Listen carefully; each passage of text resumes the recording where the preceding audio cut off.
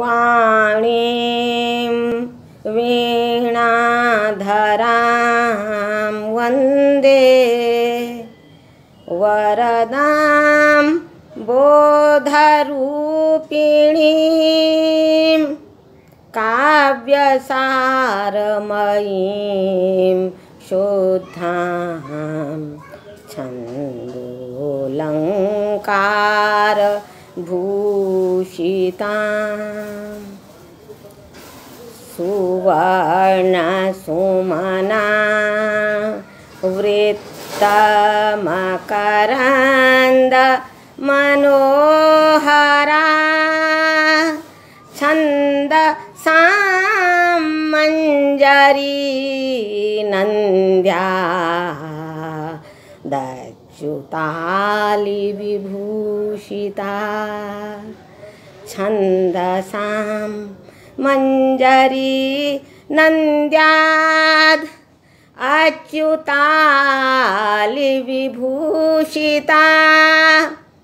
अच्युतालिविभूषिता।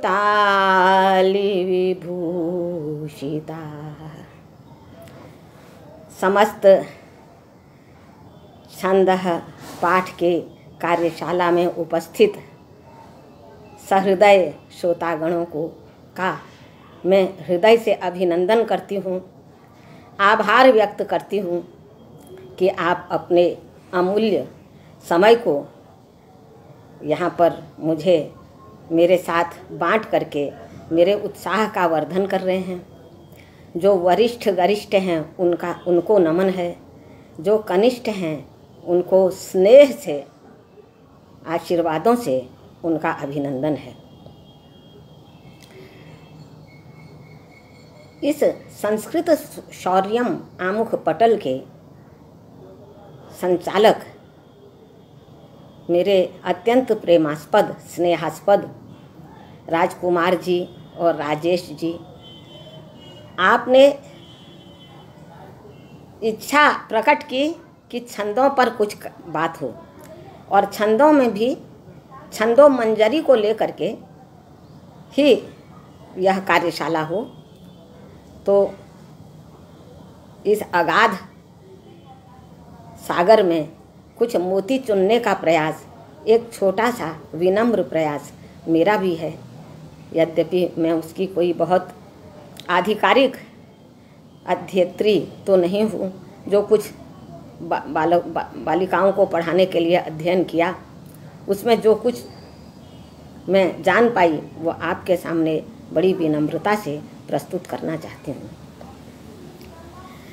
सभी लोग जानते हैं कि देववाणी का जो वांग्मय है वो विपुल है। और उसको बचपन से लेकर के अंतिम समझ तक स्मरण करने की एक विधा मनुष्यों ने ऋषियों ने खोजी कि उनको छंदों में बद्ध करके प्रस्तुत किया जाए। चाहे दर्शन शास्त्र का विषय हो, न्याय सिद्धांत मुक्तावली की कारिकावली हो, सांख्य कारिका हो, या तो ये छंदोबद्ध करते हैं या सूत्र निबद्ध करते हैं। जैसे पाणिनि ने अष्टाध्यायी को सूत्र निबंध कर निबद्ध कर दिया बादरायण बादरायण ने वेदांत सूत्र को कर दिया, ब्रह्म सूत्र को सूत्रों पर निबद्ध कर दिया। और भी गौतम का न्याय सूत्र है, जैमिनी का है, मीमांसा सूत्र। या तो सूत्रों में बांधते हैं, या तो पद्यों में बाँध देते हैं। बहुत बड़े नैयायिक हुए हैं, स्वनाम धन्य उदयनाचार्य जी। उन्होंने न्याय कुसुमांजलि में ईश्वर तत्व को, के जैसे गूढ़ विषय को जो कि दर्शन का विषय है, उसको श्लोकों में, छंदों में बांधा है। छंदों में बांधने से यह होता है कि एक बार यदि याद हो जाता है तो वह याद रहता है। सूत्रों में भी याद रहता है, छंदों में भी याद रहता है। तो इसीलिए छंद शास्त्र की बड़ी विशेषता है। और दंडी तो कह देते हैं, सा विद्या नौ तितीर्षुणाम गभीरम काव्य सागरम गंभीर अत्यंत गहरा, गहर काव्य सागर को पार करने के लिए छंद शास्त्र को उन्होंने नाव कहा है। जिस प्रकार नाव में बैठकर गहरे से गहरे पानी में को पार किया जा सकता है, नदी को पार किया जा सकता है, सागर को भी पार किया जा सकता है, उसी प्रकार छंदों का ज्ञान होने के बाद अगर साहित्य का अध्ययन किया जाए, यदि संस्कृत वांग्मय का अध्ययन किया जाए तो वह सुकर होता है। इसीलिए छंद शास्त्र एक अलग अलग विधा है। और वेद को छंद कहा गया है।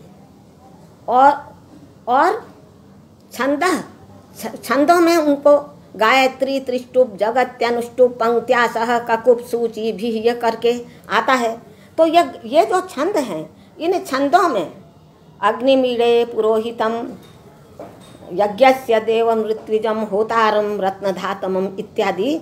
ये जो छंदों में बांधा है, वेदों को।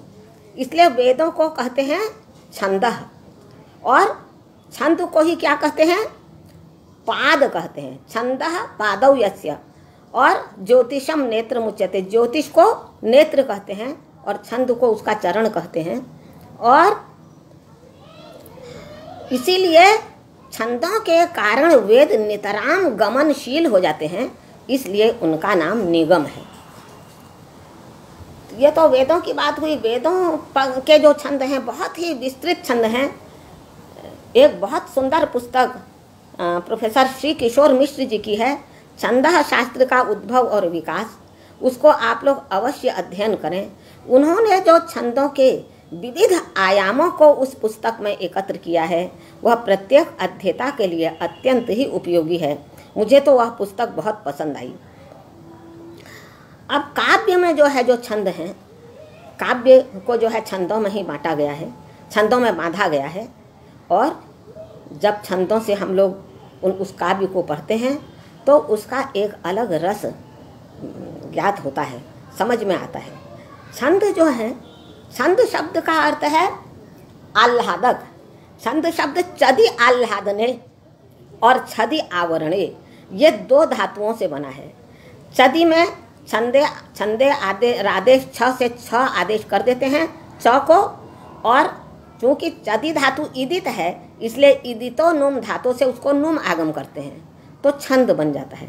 फिर उसमें असुन प्रत्यय लगा करके छंदस शब्द का निर्माण होता है। और उसका रूप चलता है छंद छंदसी, छंदांसी। तो जो आह्लादक है, जब किसी चीज़ को हम लोग छंदोबद्ध करके कहते हैं तो उसमें एक गति आ जाती है, एक लय आ जाता है, एक छंद आ जाता है, आ जाता है, माने आह्लाद आ जाता है, चमत्कार आ जाता है। जिस प्रकार अलंकारों के संयोजना से चमत्कार आता है, वैसे छंदों के संयोजना से भी चमत्कार आता है। इसलिए और छदि आवरणे से वो विषय को बाँध देता है। अपने एक नियमों से लेकर के बाँध देता है, उसको आवृत कर लेता है, अपने आह्लाद से ढक लेता है, इसलिए उसको छंद कहा जाता है। यह जो छंद शास्त्र है, इस छंद शास्त्र बहुत पुराना है। छंद शास्त्र का प्रथम ज्ञान किसने दिया? एक सुदीर्घ परंपरा है। सबसे पहले छंद शास्त्र का उपदेश भगवान शंकर के द्वारा प्राप्त हुआ है। भगवान शंकर तो आदि गुरु हैं, सबके वो गुरु हैं। इसलिए जैसे वो कहते हैं, वंदे बोधमयम नित्यम गुरुम शंकर रूपिणम। तो गुरु जो है, साक्षात जो शिव हैं, अर्थात जो कल्याण तत्व है, वही गुरु तत्व होता है। तो सबसे पहले शिव ने छंद छंद का उपदेश दिया। किसको दिया? बृहस्पति को। और बृहस्पति ने इंद्र को दिया, इंद्र ने शुक्र को दिया, शुक्र ने मांडव्य को दिया, मांडव्य ने सैकत को दिया, सैतव को दिया, सैतव ने यास्क को दिया और यास्क ने पिंगल को दिया है। अब पिंगल को कहते हैं कि नाग हैं। पिंगल जो है, नाग हैं। कौन? शेष नाग। एक बहुत सुंदर पुस्तक हमको प्रोफेसर वायुनंदन पांडे गुरु जी के पुत्र हैं। डॉक्टर रामप्री पांडे, उन्होंने हमको दी थी दुख भंजन कवि की पुस्तक है वो, वागवल्लभ, उसका नाम है। उन्होंने दंडक छंद के बारे में बड़ा अच्छा वर्णन किया है। जब दंडक छंद के का निर्वचन होगा तो उस पर कुछ विचार होगा। तो इतने सुंदर सुंदर उसमें उन्होंने उनके, वो दिए हैं उनके विशेषण। अहिपतिशेष फणाधीश्वर और क्या क्या बड़े सुंदर सुंदर दिए हैं। जब वो उनका लक्षण प्रस्तुत करते हैं तब तो तो जो है, वो पिंगल जो है, वही पिंगल जो है, वही शेष नाग ही है संभवतः। वो पिंगल नाग को मिला है छंद। इसी को कह रहेंगे छंदो गानमिदम भवात भगवतो, लेभे सुराणांगुरु। तस्माद्दुश्चवनस्ततो सुरगुरुर्माण्डव्यनामा ततः माण्डव्यादपि सैतवस्ततऋषिर्यास्कस्ततः पिङ्गलः। तस्येदं यशसा गुरोर्भुवि धृतं प्राप्यास्मदाद्यैः क्रमात्। अब जो पिंगल नाग ने जो उपदेश दिया, उसके बाद अनेक लोगों ने क्रम से जो है फिर किया उसका। उसको मतलब संपादित किया, उसको प्रस्तुत करने के लिए अपने अपने तरीके से किया।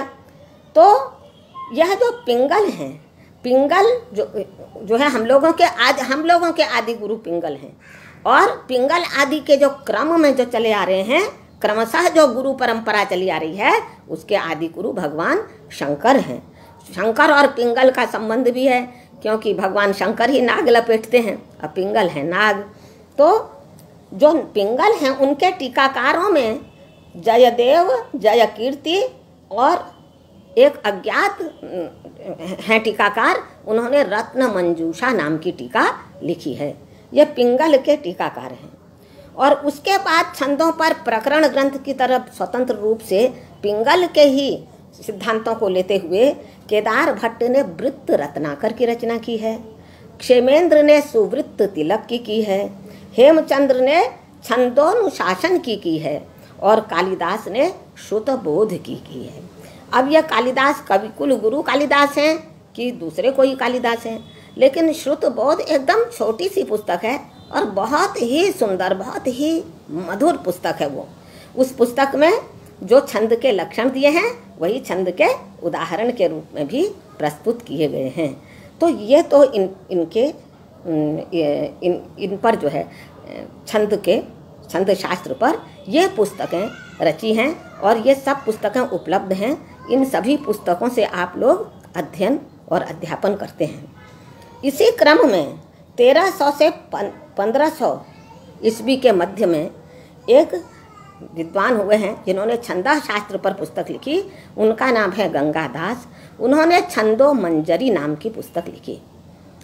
और छंदो मंजरी वो उन, वो छंदो मंजरी को देख करके ऐसा लगता है कि वो कृष्ण के बड़े भक्त थे। और उनकी अच्युत चरित, कंसारी शतक और दिनेश शतक, तीन काव्य के बारे में भी बताया गया है कि ये काव्य हैं। और छंदो मंजरी में वो जितने भी उदाहरण देंगे, सब भगवान कृष्ण से संबंधित देंगे। इसीलिए मैंने मंगलाचरण पहले किया, छंदो मंजरी नंद्यात अच्युताली विभूषिता।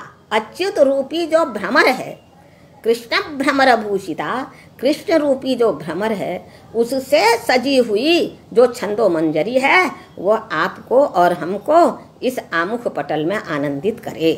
यह जो मैंने मंगलाचरण प्रस्तुत किया, यह इसीलिए कि ये बहुत ही बड़े संस भगवान कृष्ण के बड़े भक्त हैं और जितनी भी वो बातें कहते हैं, जितनी भी उदाहरण प्रस्तुत करते हैं सब भगवान कृष्ण को ही समर्पित करते हैं।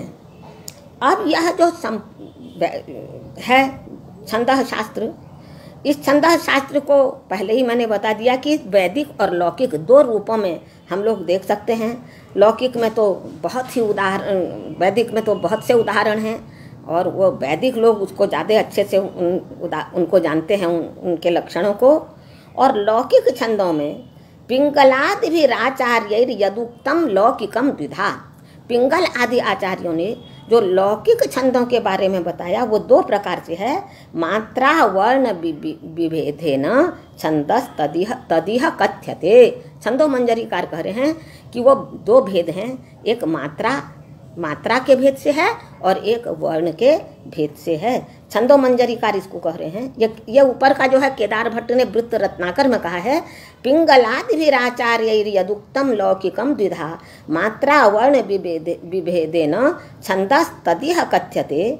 और छंदो मंजरीकार इसी बात को कह रहे हैं। पद्यम चतुष्पदी तत्र, वृत्ति जाति रीति द्विधा। पद्य जो है, चार पैरों वाले जो हैं, वो पद्य हैं, चतुष्पाद। और उनके दो दो उनके भेद हैं, वृत्ति और जाति। वृत्ति किसे कहते हैं? कह रहे हैं वृत्तम अक्षर संख्यातम जो अक्षरों से जहाँ गणना होती है, वहाँ वृत्त होता है, और जहाँ मात्रा से गणना होती है, वहाँ जाति होती है। तो मतलब वर्णिक छंद और मात्रिक छंद। इसी को और स्पष्ट करते हुए छंदो मंजरीकार कह रहे हैं अक्षरैर गणना यत्र तद वृत्तमिति कथ्यते। जहाँ अक्षरों की गणना होती है, उसे वृत्त कहते हैं, माने वृत्त छंद कहते हैं, अर्थात वर्ण, वर्णिक वृत्त कहते हैं, और मात्रा भी गणना यत्र सा जातिरभिधीयते। जहाँ मात्राओं से गणना होती है, उसे जाति कहते हैं। अब जहाँ जहाँ अक्षरों से होगी और कैसे मात्राओं से होगी, इसका जहाँ जहाँ पर आएगा उदाहरण, जहाँ जहाँ उस उस छंद की चर्चा होगी, वहाँ उसको और स्पष्ट किया जाएगा। फिर यह बात कही जा रही है कि जो वर्ण वृत्त हैं, वो तीन प्रकार के होते हैं। समवृत्त अर्ध समवृत्त और विषम वृत्त समवृत्त जो होते हैं, उनमें चारों, जो चार चरण हैं, प्रत्येक के चार पैर हैं, चतुष्पदी है तो चारों में बराबर संख्या रहेगी। अगर ग्यारह अक्षर का आप छंद बना रहे हैं तो पहले, दूसरे, तीसरे और चौदह चौथे, चारों में ग्यारह ग्यारह अक्षर ही होंगे। इसको तो समवृत्त कहा जाता है। अर्ध समवृत्त वो कहते, होता है, जिसमें पहले और चौथे में एक संख्या होती है और दूसरे पहले और चौथे में, और पहले और तीसरे में एक संख्या होती है, दूसरे और चौथे में एक संख्या होती है। उसे अर्ध सम वृत्त कहते हैं। आगे उदाहरण सब आएँगे। और विषम में जो है, चारों हैं, चारों में चार तरह से होता है। पहले में एक संख्या होगी, दूसरे में दूसरी से होगी, तीसरे में तीसरी होगी, चौथे में चौथी होगी। उसे विषम वृत्त कहा जाता है। तो इस प्रकार से अगर इसको हम लोग विचारेंगे तो छंद शास्त्र का बड़ा विपुल विस्तार वांग्मय हमको मिलेगा। इसमें जो है, गण होते हैं। आप लोग जानते ही हैं गणों को। वो गण कैसे हैं? कहा, म्यरस्त जब नगैर लानतैर, रे भी दशा भी रक्षरे एक तो इसमें दो चीज़ें होती हैं, एक लघु, एक गुरु। लघु गुरु का यहाँ इसमें सारा खेल यहाँ लघु गुरु का होता है। लघु किसे कहा जाता है? ये आप लोग बड़े सरल तरीके से जान लीजिए, आपका पढ़ा हुआ है। पाणिनि के सूत्र के आधार पर जानिए। कहते हैं ह्रस्वम लघु। पाणिनि ने सूत्र लिखे हैं ये। भुआदिगण के प्रकरण में लघु सिद्धांत कौमुदी में आए हैं। ह्रस्वम लघु, जो ह्रस्व है, अर्थात एक मात्रा वाला है। जिस जिस अच के उच्चारण में एक मात्रा का समय लगेगा, उसको लघु कहेंगे, उसको ह्रस्व कहेंगे, और जो ह्रस्व होगा, वही लघु होगा। ह्रस्वम लघु। और संयोगे गुरु, अगर वह लघु, संयोग परक हो जाएगा। अगर लघु के बाद संयोग आ जाएगा तो वही लघु गुरु उच्चारण हो जाएगा उसका। अर्थात उसमें दो मात्रा का सम, समय लगेगा। संयोगे गुरु संयोगे सती लघु अपि गुरुर भवती। अगर लघु के बाद संयोग है तो वो गुरु हो जाएगा। और दीर्घम च। और अगर दो मात्रा का दीर्घ दीर्घ स्वर होगा उसको भी गुरु कहेंगे। तो छंद शास्त्रकार लघु में एक ऐसे लाइन खींच देते हैं और गुरु में एक ऐसे बना देते हैं। ये आप लोग जानते ही हैं।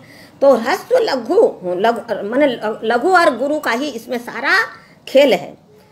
और इस लघु गुरु के आधार पर इन्होंने म्यरस्त जब नगैर लानतई रेभिर दशभिरक्षरई समस्तम वांगमयम व्याप्तम त्रैलोक्यम व विष्णुना।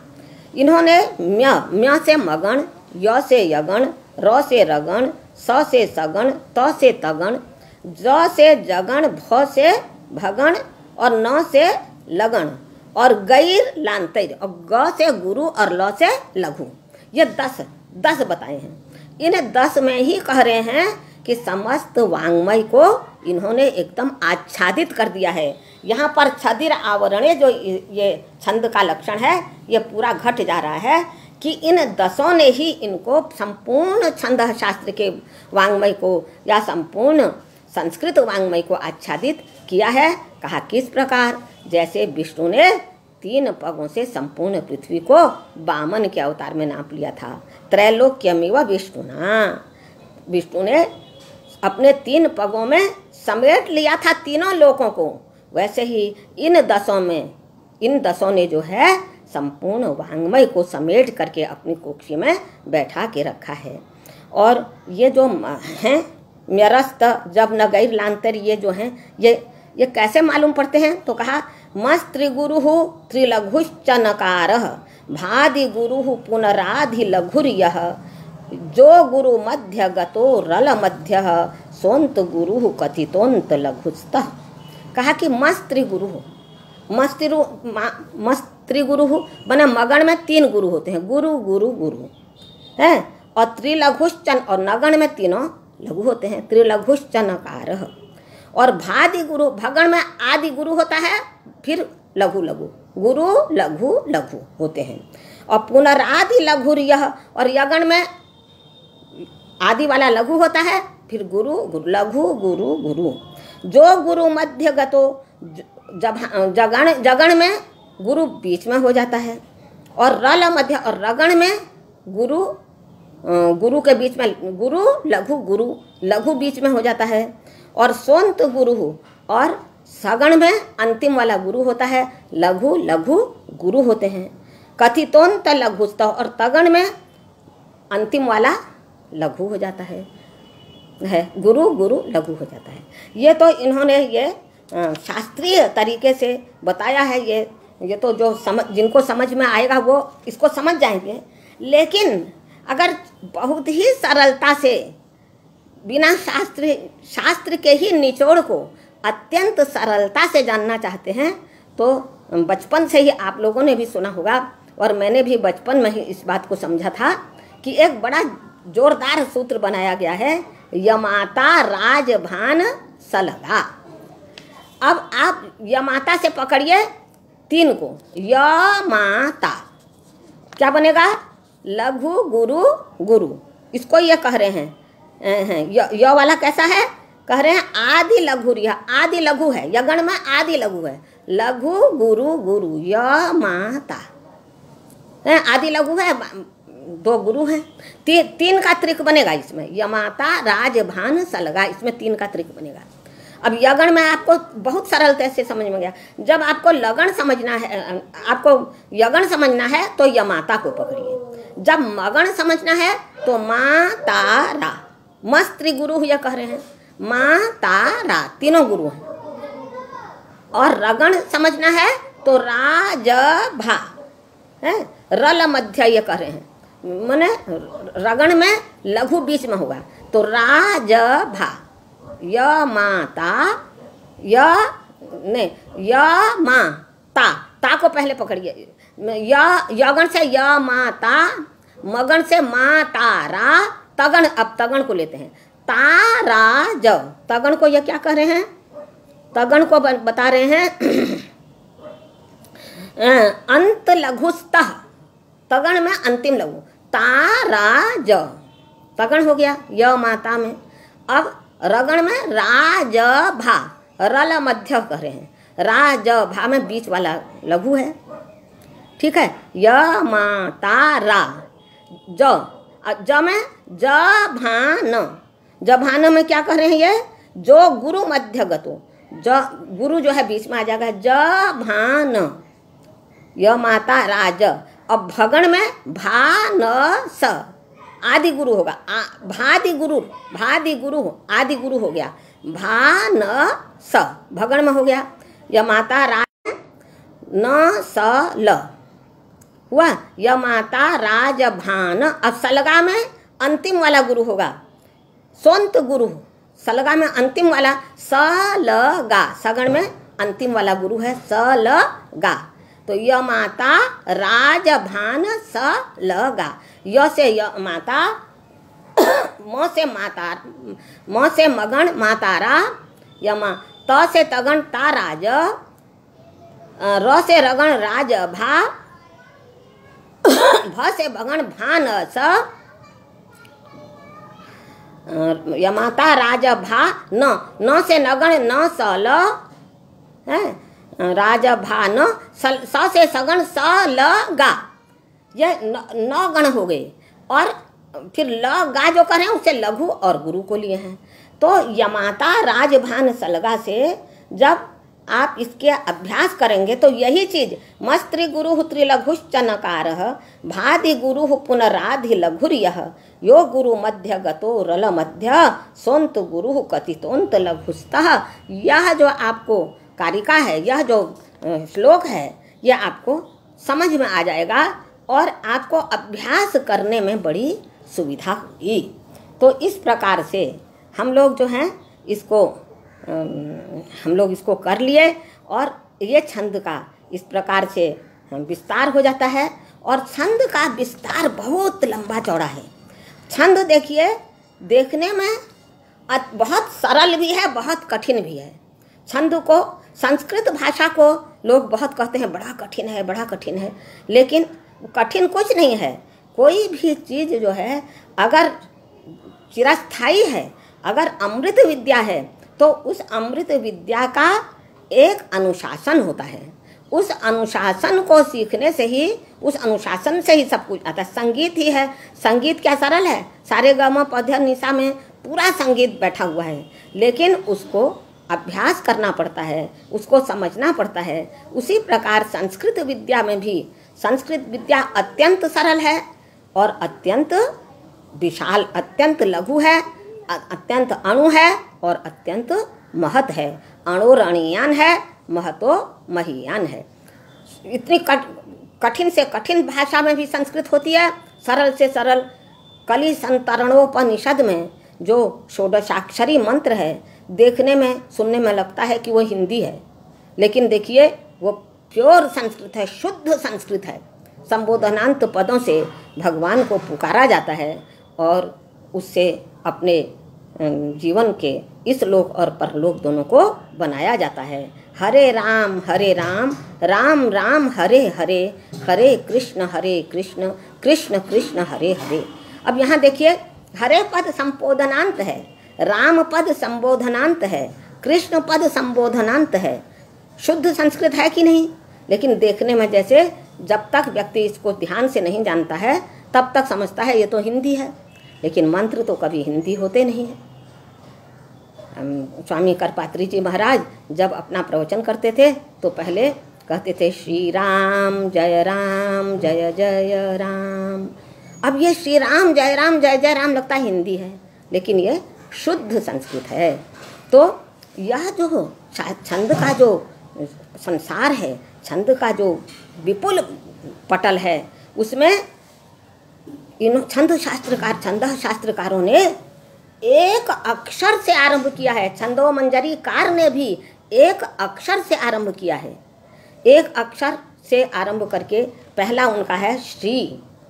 श्री एक अक्षर है। और एक अक्षर से पहले 26 अक्षर तक के जो छंद हैं, उनको बताया है, उक्ता, अत्युक्ता, मध्या प्रतिष्ठा, सुप्रतिष्ठा, गायत्री, उष्णिक, अनुष्टुप, बृहति, पंक्ति, त्रिष्टुप, जगति अति जगति शर्करी अति शर्करी अष्टि, अत्यष्टि, धृति, अतिधृति, कृति, अतिकृति, आकृति, विकृति, संकृति और उत्कृति।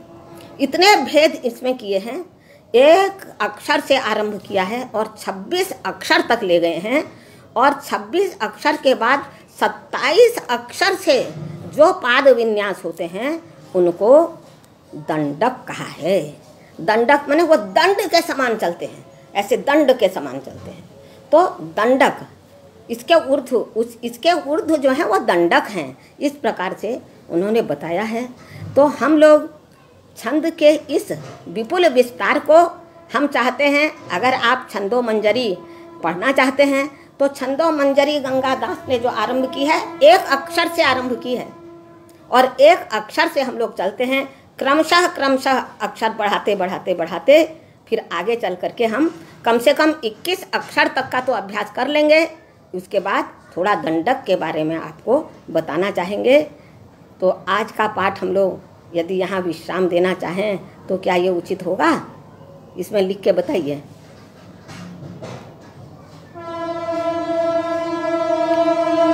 कल से एक अक्षर से हम इसको आरंभ कर रहे, करना चाहते हैं और फिर उदाहरणों से आपसे वो करेंगे। आप अभ्यास करके दूसरे दिन सुनाइए भी, क्योंकि ये तो अभ्यास की चीज़ है। जब आप हमारे मुँह से सुन करके आप सुनाएँगे, आप फिर उसको प्रस्तुत करेंगे, तभी वो आएगा। हम कितना भी कहते रहेंगे, नहीं आएगा। आपको जो है वो सुनाना होगा। तो आज हम लोग यहीं पर विश्राम देते हैं और कल से एकाक्षरावृत्ति से चलेंगे। बहुत ही सुंदर है एकाक्षरावृत्ति। मैंने एकाक्षरावृत्ति से सात अक्षर तक की वृत्ति का गंगा जी के को नमन किया है। गंगा जी को नमन करके मैं इस पाठ का आज विश्राम दूँगी। आप लोग इसका इसके माधुर्य का आनंद लीजिए। एक एक अक्षर एक अक्षर से लेके सात अक्षर तक। गङ्गां वंदे गङ्गे मातः, नौमि प्रातः पवित्रप्रवाह धुनीनः पुनातु गिरिशृङ्गे सितधारा रमणीयोर्मिलहारा दूषिततोयं हन्तमदीयं जातमपेयं शोचति गङ्गा। अमरगणानां पुरी सुख सारा। सलिल सुधानां प्रवहति धारा। कालिन्दीं भगिनी वालिङ्गन्ति लहरीभिः। नीलाङ्गी प्रतिभाति श्री गंगा सलीलांगी। ये सात अक्षर तक है, आठवां अक्षर। वरदे अनुष्ठुप है। वरदे विबुधाराध्य जय सर्व सर्वसरी दुआरे। पीयूष सालिले देवी भागीरथी नमोऽस्तु ते। भागीरथी नमोऽस्तु ते। श्रीगङ्गार्पणमस्तु जयतु संस्कृतं जयतु भारतम्।